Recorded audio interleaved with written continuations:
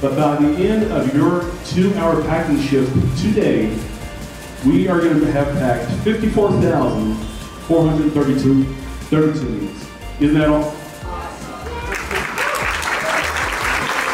what are you doing right now? Uh, are you guys having fun? Yeah. Emma, are you having fun? They just packed a bag. How, what do you think about this event?